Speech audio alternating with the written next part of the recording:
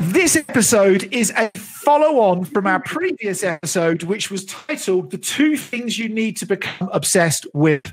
If you haven't listened to part one yet, please go and listen to watch part one first, because all of this episode will make much more sense to you when you do listen to part one first. There'll be a link to that in the top of the screen here somewhere. So go click on it. Um, and, yeah, there we go. So, so we're talking about now the second thing you need to be obsessed with as an outdoor business owner if you wish to be successful. Now, Today's advice and guidance does not come out of Rob and Mark just sucking their thumb and waving their fingers in the air and trying to brain dump what it is that could make you successful. This actually comes from the over 200 outdoor business owners we have interviewed this year. And what it is that those people who are making epically successful lifestyles and epically successful quantities of money for themselves in the outdoors, what they are doing versus the things that people who are struggling to find enough customers, struggling to make enough money, so on and so forth, versus what it is that those people who are struggling um, are doing. So, um, as always, I'm joined today by, um, oh, who can you be today? Uh, the Admiral of the Fleet, the, the, yeah. the Field Marshal, the uh, Chief Entertainment Officer, and anything else of We Get Outdoors. My co founder and good mate, Mr. Mark Hopkins. Welcome. Dankeschön, mon Capitan. Um, after doing part one, um, without giving it too much away, uh, w- what was left whirring through your head? How good we were. Shit, we're good at what we do. um, I think the thing that really, the thing that really left struck me was freaking hell. Most business owners, and again, it's I'm not belittling it. We're really good at overcomplicating shit. And the second thing is that naturally we are really comfortable gravitating to something that feels really easy to us at the detriment of whatever it is that we want to actually achieve. We and we go into whatever's very comfortable for us. That, that is so very true. A mentor of mine once said to me, What do you least want to do in your business? And I gave them a list. And he went, Excellent. There's your priority list of all the things you need to focus all of your time, effort, and energy on. I was like, Oh, crap. Um, yeah. and, and sadly, that that's it. Yeah, there's a wall made of concrete with spikes sticking out of it, and I walk straight into it and headbutted it. Um, yeah, uh, but the truth is, he was right, and it enabled me to sell my outdoor business nine years ago. Um, and along the way, I actually learned to love some of those things that previously I hated. Um, so yeah, so, so we're into part two now. We unpack that little. Just I think it's really important. Just quickly before we go into part two, mm. what, what, why did you end up falling in love with those things that you hated initially? What made you fall in love with them? What was the journey you went on? So, first of all, I I focused in and worked hard on those areas because I had a mentor holding me accountable. And the only questions they were ever interested in is the answers relating to those pri- those priority areas. That was the, the that was the, the first thing. So it was a, a degree of accountability, and this guy had a jeepers. He he actually worked for one of the world's richest men um, as his direct boss. Um, I'm not going to go into who, but that's actually what his day job was. He had a proper job. He was he was in terms of aspirations in the world of one day I'd like to earn as much as this person. Um, he was up there. Um, and you know he's a, a, Christian. He was in the choir at the church. He's got a happy marriage. He's got two amazing kids. He has an awesome work-life balance. Um, so on and so forth. And I'm like, ah. And then this guy's saying, here you go. I'm now going to hold you accountable to those things. So the first step was being held accountable to do the stuff that I didn't want to do and not wanting to let that person down. Um, and he was quite blunt and harsh with me on occasions. He's like, right, well, we, you're paying for today's session, but um, we're canceling it because all you want to do is talk about, about stuff that isn't important to your business. You think it's important, but it's not. And actually, all we need to talk about is this other stuff. Um, and so he did pull that trick on me twice and literally like hit the red button on Skype back then and it ended. I was like, I sat there looking at my laptop screen going, uh, Who else we know has hung up on people in a meeting that they didn't want to have that conversation with? Yeah, you did the other week. so that that was the first thing. The, the second thing is, after a period of time, you actually start to see results from focusing in on those areas. And, you know, often that's a period of months, three to six months would be usual. It's not like a quick overnight success. I mean, if you've left a part of your business at only 10% active, one of the layers of your business at 10% active for a few years, to get it up towards 100% further does take time, effort, energy, focus, so on and so forth. But after a period of time, you start to t- see results. And interestingly, when I started to see some results, I then actually backed off the things I didn't like, thinking that it was like taken care of. And then, and then my results over a period of time started to d- diminish again. And my mentor said, I, I bet you've stopped putting 14 hours a week into this, haven't you? And I was like, how on earth did you know that? Um, but it was based on the results. It was, you know, so and so then, then you go back at it again, and then the results pick up again. And ultimately, when those results start taking you closer to what it is you want to achieve in your life, and you know, money will be a part of that. Lifestyle family experiences you know ego all sorts of things are a part of that. Um, when that's when those results start taking you obviously closer to those things you want um, actually you're like wow what, what if I just drop more of that other shit I thought was important and just focus on this stuff more? Could I get those results faster? I mean, could I take a, a five year goal and turn it into a one year goal or a two year goal? Um, and, and, and so I suppose then I became obsessed by those things in terms of I, I didn't want to work a 14 hour workday seven days a week for the rest of my years. I wanted to work I, I wanted to guide on one or two trips a month.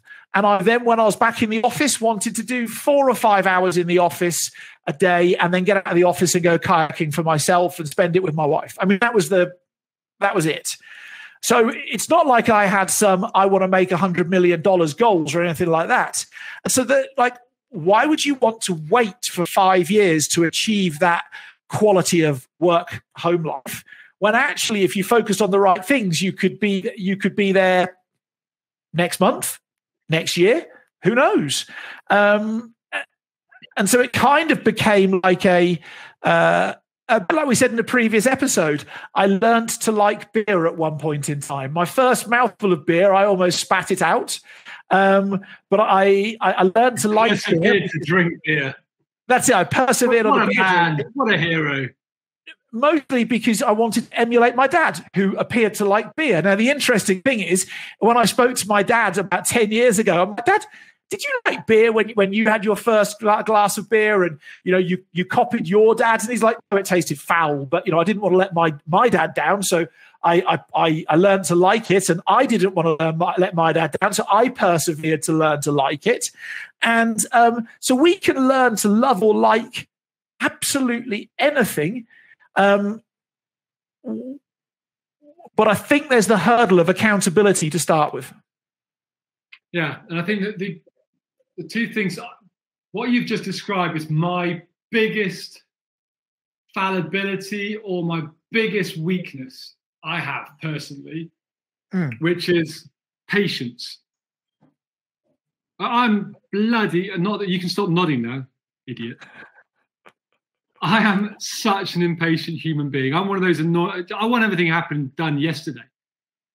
I think it's something that I've had to learn learn in business, and it's something we've made mistakes in the past because I've sort of pushed you to move on before we're ready. I think it it is something that, but so I think it's something you need to be cognizant of. But I think also because it's something that you need to be aware about, which is at what point are you actually procrastinating? Like, because we talk we talk a lot about um, manufacturers. People are obsessed about their product, but they're trying to make I'm that final tweet for hours. I'm assuming though you're not talking about the procrastination where somebody sits knowing they should be busy but does nothing. Are you no. talking about like the active procrastination where you're busy being busy but never really achieving what you want to achieve? Yeah, and and busy, yes, exactly that, and busy making tweaks to something that is going to make absolutely zero difference to your business or to your customer or to the experience or the service. You're just doing it. So there's that impatient stuff, but there's also that procrastination out of fear. I think it's all about is the, the two things work quite closely together. I think I'm very impatient. I want to get things done yesterday. And there's a reality out there that um, there's another business out there similar to yours who's listening who offers a 50% quality version of what it is you sell who because they are obsessed by the thing we mentioned in the first episode and what we're going to follow on with in this episode now actually we are going to get to it. we are going to get there. Um, actually, they're making far more money. They're achieving far more of their goals. They're, uh, but uh, maybe they're even doing a disjustice to the outdoors because people are going out there with a substandard product. And it's all because, though, they are obsessed with their customer, as we mentioned in the previous episode, and they know how to go and take what they have and put it in front of a customer where the customer feels exceptionally stupid if they do not purchase it. Um, and so they're, they're, they're, taking your customers because you're not obsessed with your customers. And importantly for this episode, because you're not actually obsessed with the way you use your time. And, for me, um, these two things are the obsessions you must have in place is obsessed with my customers and obsessed with how I use my time to get the results that I want to get my results, the results that I want to get. Yeah, 100%. And I think when we say time, we're not, we don't mean 60 hours a week. How do you allocate every single minute over 60 hours a week of work? It's about what is it that you want to achieve? How much time are you willing to allocate it? And how are you ensuring that you are obsessing about that time so that you're prioritizing how to spend that time on the things that's going to have the biggest impact on your business.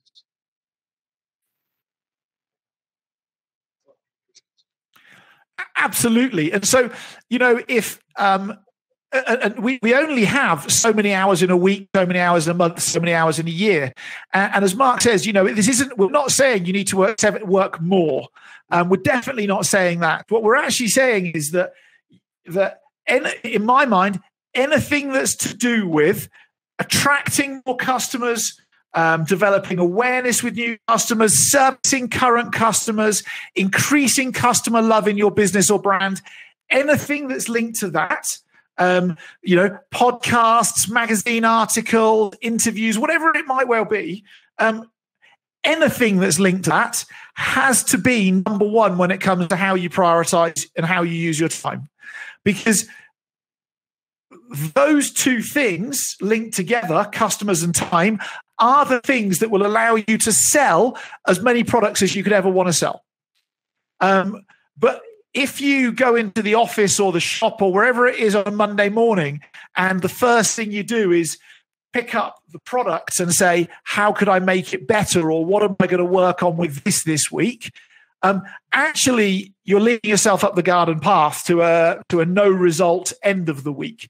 Um, and and so I just think this time thing is weird because you know, Mark, there's so many books out there that say, you know, allocate a task to every 15 minutes of the day, you know, blah, blah. Even if you're watching a movie, watch it with purpose to come up with a business idea. Um, I, I, personally like to call bullshit on that. You know that I do, I come up with most most of the best development stuff for the business I come up with when? DIY. That's it. I'm, I'm, renovating a house, renovating a workshop, doing the garden, whatever else. Um, and, and so, am I wasting time by doing that stuff myself? I'd argue no, because I think, Mark, most outdoor business owners, most people are quite similar to me. If you dump them in front of a laptop and say, come up with great ideas about how to get more customers involved in your business, we just look at the laptop and go, uh, Yeah. Um, and the best thing that happens out of could happen out of that circumstance is you end up taking what other businesses do and trying to replicate it for your business. Well, that's not creative problem solving. That's just copying what other people do, plain and simple. That's just plagiarism. And actually, you need time, space, and silence, no music, etc., to actually come up with stuff that is unique and different that will help you engage with customers more. And so maybe time usage could be um, go for a hike. Um, maybe it could be go for a hike with new people who hike that you've never met before and just have a conversation with them and listen to what it is they talk about. Maybe that could be a thing. I don't know. Um, it's great usage of time because it's helping you engage that time in the pursuit of more customers. I think it's what we're what, what we're not advocating is laziness, just using it as an excuse to do something. What we're saying is two things. One is really think about what are the key questions. And that's what you do a lot in your DIY, you normally is you pick one question that you just want to think about and you almost obsess about that question while you're doing things to see where it takes you. And you have you have no defined outcome or end game. You just literally meander on a journey. So I think the first thing is to leverage time by trying to answer key questions. But secondly, before you even start down that journey, you need to know yourself that allows you to achieve what it was you achieved. Like for me, I wouldn't have the same output for the business DIYing because that that's not where I get really stimulated to do my thinking. I get stimulated to do my thinking either when I'm swimming or when I'm on a hike. So get me in a swimming pool or get me in a water swimming, and I'll come out of the water like you do coming out of DIY. It's not wrong, it's just different. Get me on a hike. So I think ask yourself, where do I feel in the right mental space to answer the right question? And then what question do I need to answer? And then just stop trying to think what other people expect of you or what is the norm and do what is right for you as an individual. Like I never critic- criticize Rob for spending time DIY because even though there is no direct output to the benefit of We Get Outdoors, like I don't see a new email or I don't see anything else, who gives a shit? Because I freaking. Oh.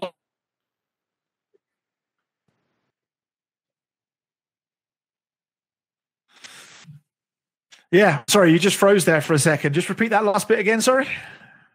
It's like, yeah, I, I don't get frustrated if you're not in front of the laptop achieving something that's directly beneficial to the to the to the business, such as an email or a presentation or something, because the value of the voice notes I get when you finish is probably a hundred times more valuable to We Get Outdoors than that one email that you just sat in front of the laptop trying to write. That's it. That's it. It's um. So so time.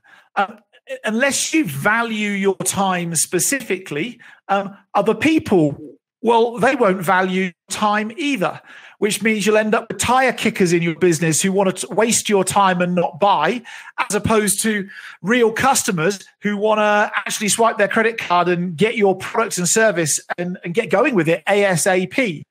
Because often your customers end up mirroring you.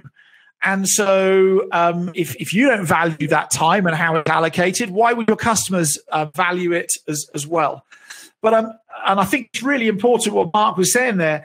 Um, all too often, I think we get obsessed by um, we, we set up a business for all sorts of reasons, and then we go and turn our business back into a job by trapping ourselves at a workbench or trapping ourselves at a laptop or in a workshop or wherever, wherever it may well be from eight till five, Monday through Friday, and then have a weekend.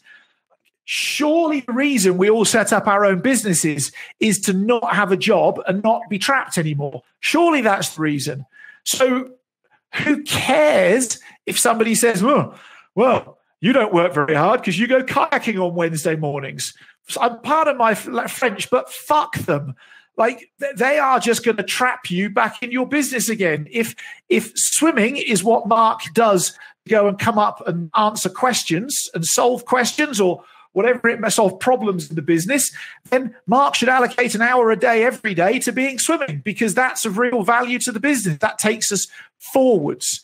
Um, And I know in a big business that your line manager or your boss wouldn't permit you the time to go and go swimming for an hour every day on company time.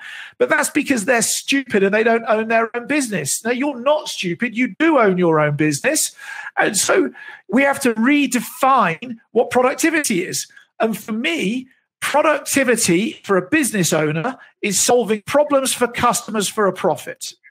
So how are you solving those problems at a better level the whole time? And understand that if there was a list of 10 thing, 10 ways of solving product, uh, solving problems for a customer, probably your product is one out of 10. And there's probably nine other fit parts of your business that need to function amazingly well in order to truly solve the whole of that problem. Like if somebody swipes their credit card today, they probably want your product or service tomorrow. So, how are you going to go and actually get it to them as quickly as humanly possible? And then, how are they going to feel loved when they do get it? And, and in what time frame are they going to feel loved? And in what ways? Um, I just think all of this comes back to understanding that there's a balance of time allocation throughout our life, and how you choose to allocate that time will be directly linked to what outcomes or what success you get at the end of it. Um, and if you're not getting what you want out of your business, it's probably due to one of these two reasons from the last episode and this episode not enough love for customers and a I won't say incorrect, a, um, a usage of time that needs to be adjusted um, in order for you to go and get more of the results that you need? I think that is uh, an incredible piece of advice that we should end this session on. Cool. Now, so if if um, if people are struggling, Mark, with what it is that they can do with these two obsessions that we say that business owners need to have to be successful, customers and time, um, and somebody's like, well, I'm not too quite too sure where to start, and I don't even really know how I use my time at the moment, and uh, and I really want some advice and guidance, or, or I want some support. What are two two things they could go do, or three things even, to help themselves? Well, I think before they even get that, I think the first thing they've got to do is realise and put their head in the sand and carry on doing what they're doing, or they actually want to make change in their business and their life. So let's assume they are making a decision and they want to make some change, well, the first thing they could do is get an opportunity to to come and tell your story to tens of thousands of outdoor enthusiasts by coming on our outdoor business promo series. And the link for that is below. You click on the link and it'll take you to a help page. And then you can go and book in a time that suits you to come on our podcast. The second thing is if you want to discuss more of this in detail and how it applies to your business, then Rob, um, when he's not DIYing, is giving three hours a week of his time for free for anybody who wants to have a cool conversation with him about their business, um, where they are, what they want to do, and what they want to achieve. And click on the same link, and it will take you to the help page. And there is another one that you can go and access time to Rob's diary. Um, that's a big two. What's the third one? Well, the third one is if you get all of this and you understand it fully, um, what, why bother talking to us? Go, go, start doing it and um, and put it into practice, and then um, comment on the comment below what successes you're having, or, or drop an email or a direct message to one of our social media channels and saying, hey, thanks for that. Um, this works. And here's what it is that I'm getting out the other side. Because um, we love to hear your success stories. Um, that's it from us this week. I hope that's been a useful part two um, of two things to be obsessed with. And um, yeah, please like this episode. Please subscribe to the channel. And why not give it a big share at the same time? We look forward to seeing you next week. Bye.